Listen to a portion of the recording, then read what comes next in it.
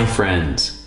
I am Joy. And I am Jennifer. Welcome to the world of communication. So, today we are going to show you the evolution of communication. What differentiates us human from animals is the way we communicate with each other. Here we will show you a brief history of how communication system evolved. The whole journey of communication started with the caveman. The cavemen used to gather around fire to discuss their day-to-day activities. We can compare this to modern-day social networking sites such as Facebook. The one sudden day they decided to record their activities or knowledge. The cavemen then started to inscribing on the caves. We can compare this to modern-day blogging. The problem with this communication method was it was localized. When people started moving out of the cave, long-distance communication became very important. Smoke signal. This was the first long-distance communication. It was used in Northern America where each tribe has its own signaling system.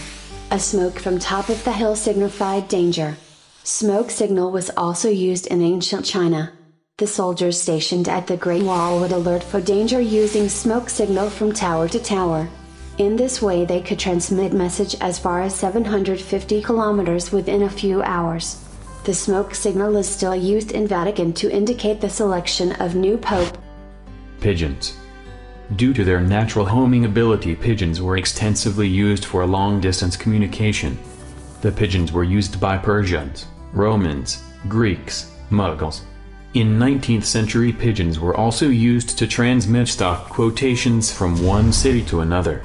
Cher Ami, a homing pigeon, was awarded the French War Cross for her services during World War I. TV series Game of Thrones has shown the use of raven instead of pigeon for long-distance communication. Pony Express. From ancient time kings have been using human messenger to relay messages. Pony Express was the first of its kind mail service delivering messages, mails, newspapers and small packages by horseback using small relay stations. It is regarded as the first courier service. It was used in the mid 19th century to communicate between East Coast and West Coast of America. Semaphore flag. Semaphore flag was used in maritime during the late 19th century. The word semaphore is derived from Greek word sema meaning sign, and pharo meaning bearer. It is the telegraphy system conveying information at a distance by means of visual signals with handheld flags, rods and disc. It is still used during underway replenishment at sea and is acceptable mode of communication for emergency. Telegraph. Telegraphy was the greatest breakthrough in the field of communication. Although the smoke signal and semaphore flags were different form of telegraphy but the harnessing of electricity in the late 19th century gave birth to electric telegraphy. Morse code is still used globally as a mode of communication. Till a couple of decades ago telegraphy was the most popular form of long-distance communication. The US discontinued the use of telegraph in 2006. India's BSNL-owned telegraph service ended in 2013. It was reportedly the world's last existing true electric commercial telegraph system. Radio. The term radio in Latin means beam of light. In 1864, James Clerk Maxwell, showed mathematically that electromagnetic waves could propagate through free space. The effects of electromagnetic waves were observed before and after Maxwell but no one could detect its presence. In 1886 Heinrich Hertz established the existence of electromagnetic waves. In 1888 he demonstrated that one could produce and detect electromagnetic waves which we today call as radio waves. In November 1894 Jagdish Chandra Bose at Town Hall of Kolkata ignited gunpowder and rang a bell kept at a distance using microwave. During the same time an Italian scientist Guglielmo Marconi made an electric bell which went off during lightning. This was just the beginning of a whole new era of distant communication. Early 20th century radio system transmitted message using continuous waves only. Amplitude modulation was demonstrated for the transmission of voice and music but with little success. World War I accelerated the development of radio for military communication. After the war commercial radio broadcasting began in 1920 and was a big hit. World War II again accelerated the development of wartime purposes for aircraft and land communication. Telephone.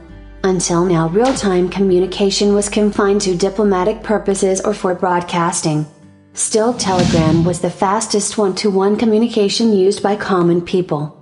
In 1876 Alexander Graham Bell invented the telephone. At first, the benefits of a telephone exchange were not exploited. Instead telephones were leased in pairs to a subscriber, who had to arrange for a telegraph contractor to construct a line between them, for example between a home and a shop. It was a luxury that only rich people could afford. Later telephones took advantage of the exchange principle already employed in telegraph networks. Each telephone was wired to a local telephone exchange, and the exchanges were wired together with trunks. Networks were connected in a hierarchical manner until they spanned cities, countries, continents and oceans. This was the beginning of the Public Switch Telephone Network or PSTN. The major progress took place after the Second World War. So friends, here we have seen history of communication started from caveman to telephone. But this is just the beginning of a golden era in the field of communication. In the next video we will talk about how communication system evolved from wired to wireless and local to global.